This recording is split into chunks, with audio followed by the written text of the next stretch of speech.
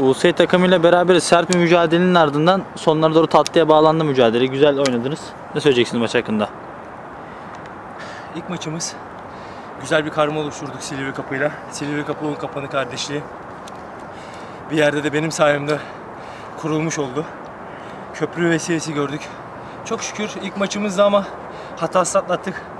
Ee, Kaptan Ferhat çok iyiydi, Şener çok iyiydi, Alp iyiydi. İbo yine her zaman gibi iyiydi. Biraz formsuzluğumuz mevcuttu.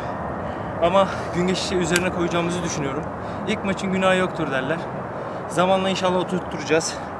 E, oturttuğumuz zaman da yine e, iddiamız devam edecek Allah'ın izniyle. Hedefimiz şampiyonluk. Biz zaten buraya zaman öldürmeye gelmiyoruz. Şampiyon olmaya geliyoruz. İnşallah iki senedir sürekli finalde kaybettiğimiz şampiyonluğu bu sefer hakkımızı alacağız. Sözü İbo'ya bırakıyorum. Tüm takımlara başarılar diliyorum. Öncelikle rakip ailesine yeniden merhaba diyoruz. Uzun bir, bir, bir sene falan oldu. Bir ara vermiştik herkesin işinden gücünden dolayı. Ee, tekrar katılmaya karar verdik. Gerçi son bir, bir ay falan kaldı ama yoğun bir tempo yapıp 3-4 günde bir playoff'lara kalacağız. Ondan sonra yani nereye kadar gidebilirsek hedefimiz şampiyon olmak.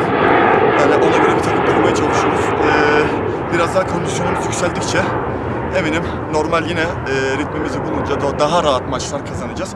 Rakibe de bu e, gün oynadığı temiz oyundan dolayı teşekkür ediyorum. Yani sertlik futbolun her şeyinde var. Yani haklarını helal etsinler.